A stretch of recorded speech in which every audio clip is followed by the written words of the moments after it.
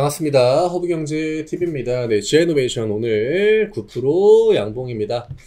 어, 제가 뭐 사실 어떤 뭐 기, 그 재료나 뭐 뉴스나 호재 이런 것들에 대해서 코멘트를 잘 안 드리죠. 우- 그 지아이노베이션한테 어쨌든 간에 가장 중요했던 건 이 영역.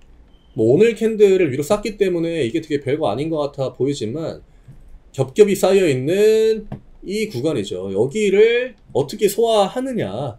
그리고 똑같은 가격을 굉장히 여러 번 줬던 게 또 지아이노베이션 차트의 특징입니다. 그리고 생각보다 하단과 상단의 이 폭 자체가 크지 않다는 거. 거의 막 이제 예전으로 보면은 막 방산주, 진짜 무거운 방산주 이런 애들이 진짜 이 박스에 가둬놓고 저점, 고점, 저점, 고점 그냥 무의미하게 올라갔다 내려갔다 하는 움직임들을 많이 보여줬는데 제가 그럼에도 불구하고 GI 이노베이션의 그 신고가에 대한 기대감 혹은 고점, 전고점까지 주가가 올라가는 그 기대감이 어느 때, 여느 때보다 높다.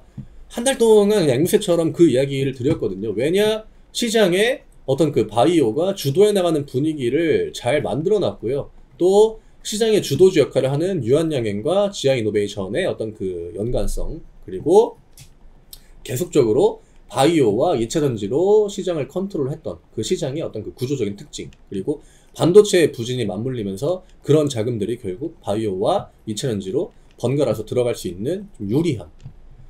그 다음에 이제 신고가를 뚫을 때 모멘텀을 던진 거죠. 예, 트리거를 던진 겁니다. 트리거가 나온 겁니다. 우리가 기관 쪽의 포지션이 굉장히 중요하다라고 이야기를 드렸잖아요.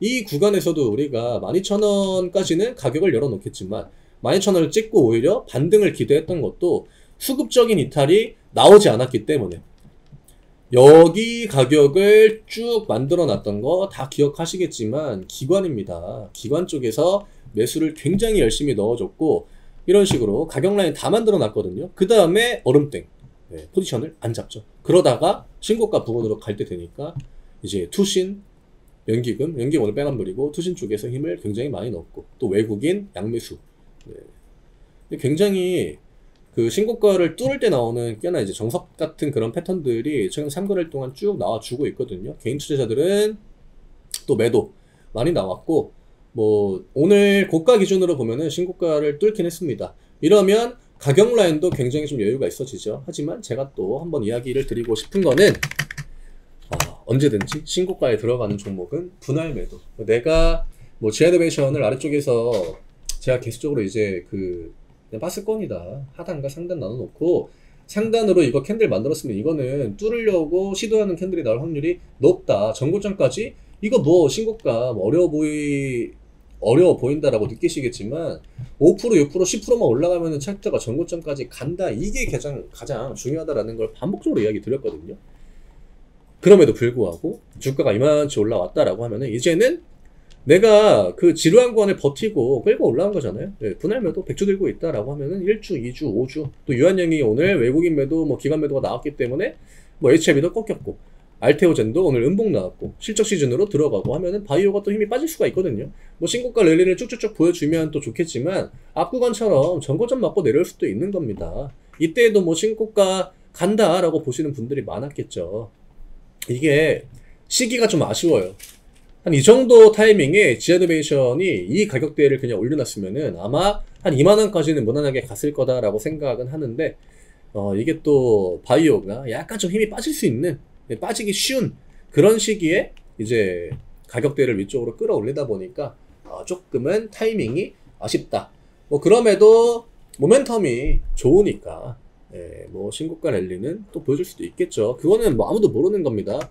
일단 그 기본적인 처음에 이제 처음 영상 찍을 때부터 이야기 드렸던 관점은 이거는 전고점 신고가. 왜냐? 타이밍 박자가 지금 다 잘 맞아 떨어진다. 물론 생각했던 것보다 많이 늦긴 했습니다. 많이 늦긴 했지만 어 그래도 우리가 원하는 가격까지 차트를 쭉 올려줬고요. 뭐 단기로 들어오신 분들은 수익도 챙길 만큼 챙겨놓고 우리가 이런 종목들 보통 대응할 때 저는 이제 어떤 식으로 이야기 많이 드리냐면은 애초에 목, 그 설정했던 목표가가 있지 않았습니까? 우리 입장에서는. 그러면 한 절반 정도 매도하고요. 기분 좋게 수익 챙기고 내가 그 수익으로 뭐 먹을지 뭐 살지 이런 거 그냥 행복한 고민하면서 나머지 절반 부담 없죠. 가격 라인만 체크하면 돼요. 어차피 중간에 오르고 내리는 거는 반복이 될 거란 말이죠. 내가 만약에 전량을 그냥 그대로 들고 조정 나오는 거, 신고까지 조정 나오는 거를 눈으로 지켜본다? 그 멘탈 지키기가 쉽지 않습니다. 아, 신고가니까 뭐가 내가 쫄리겠어? 라고 생각하시는 분들이 또 대다수일 텐데, 생각만큼 그렇지 않다는 거. 또, 유한양이 만약에 밀리고, 뭐 아니면 뭐 다른 바이오 종목이 밀리고, 뭐 이런 애들이 나오잖아요. 그러면 더더욱 그 타이밍에 만들어지는 음봉이 나오면 불안합니다. 하지만 내가 어느 정도 수익을 챙겨두면은 그런 것들이 나와도 심리적으로 그렇게 크게 부담이 안 된다라고 하는 거죠. 그래서 신고가 랠리가 나올 때 수익을 극대화하시는 분들은 오히려 올라갈 때마다 매도를 조금씩 조금씩 챙기는 분들 그런 분들이 중간에 이제 음봉이 한번 팍 나와도 잘 버티죠. 나는 그동안 챙겨놓은 수익이 있기 때문에 하지만 뭉탱이를 내가 나는 꼭대기에서 팔 거야 해가지고 뭉탱이를 그대로 들고 계신 분들은 오히려 음봉 같은 거 빵 나올 때 아 이거 아닌가 보다 하고 이제 수익률 많이 깎인 상태에서 전량 매도를 해버리니까 그런 다음에 반등 나오면 또 들어갔다가 손실되고 꼭대기에서 또 물리는 거죠. 저는 그런 패턴들을 개인 투자하시는 분들이 굉장히 좀 반복한다라는 걸 알고 있어가지고 이런 얘기를 자주 이제 드리는 거고 수익은 1%든 2%든 언제든 오른 겁니다. 오늘 수급은 일단 굉장히 좋아요. 하지만 어떤 그 시즌의 특징, 4분기 배당 노리고 또 실적 발표 앞두고 있고 미국 시장도 실적 시즌 들어가고 이럴 때 바이오가 좀 불리함을 가져가는 건 맞습니다. 그러니까 그런 것들을 좀 감안해서 어, 내가 좀 처음부터 원하 그 원하 원했던 수준의 수익은 좀 챙겨 놓으신 다음에 좀 마음 편하게 이후에 차트와 수급 이런 것들 보면서 대응해 나가는 것 저는 좀 권해 드리고 싶어요. 어, 아래쪽으로는 15,000원. 그 다음에 결국 이제 이런 차트들이 추세를 만든다라고 하면은 오늘 만들어진 캔들 있죠. 이게 전고점에서 시가 띄우고 만들어진 캔들이라 이 캔들 영역 안에서 조정을 주는 게 중요합니다. 보수적으로 본다라고 하면은 15,000원. 그 다음에 내가 하단을 좀 열어놓는다라고 하면은 뭐 진짜 많이 봤어. 그 많이 가격을 줬을 때 14,200원 정도. 네, 이때 이제 종가 부분 그 가격까지 놓고 보시면 될 것 같아요. 그래서 오늘은 이 정도로 좀 정리를 해드리면 될 것 같고요. 뭐 위쪽으로 12,000원 또 뚫어주는 시도가 나온다라고 하면은 그때부터는 조금 더 편하게 우리가 또 볼 수 있겠죠.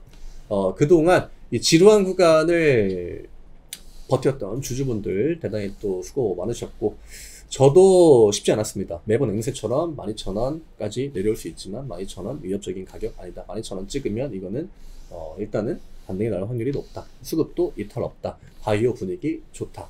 네, 이제는 그래도 좀 들을 이야기가 많기 때문에 네, 하지만 그 오늘 시장이 보여준 변화에 대해서는 우리가 좀 인지를 해야 됩니다. 어, 외국인과 기관들의 포트폴리오가 확실히 어떤 그 4분기라는 그 특징에 맞춰서 일부 변화를 주기 시작했다는 거.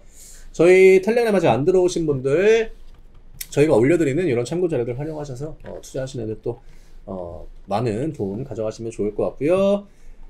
저희 텔레그램 링크 아래쪽에 영상 고정 댓글에 남겨드립니다. 누르시면은 바로 입장 가능합니다. 어, 저희가 또 무료 수익 종목도 이쪽에 안내해 드리니까 오셔서 같이 한번 해보시면은 많은 도움 될 것 같습니다. 주주분들 또 결국 원했던 그런 수익을 우리가 이제 만들었잖아요. 축하드리고 어, 기본적인 저녁에 좀 맛있는 거 드시고 하면은 좋을 것 같습니다. 어, 야구도 좀 이기면 좋겠네요. 어느 팀을 응원한다라고는 이야기 드리지 않겠습니다. 저는 내일 다시 또 인사드리도록 하겠습니다. 감사합니다.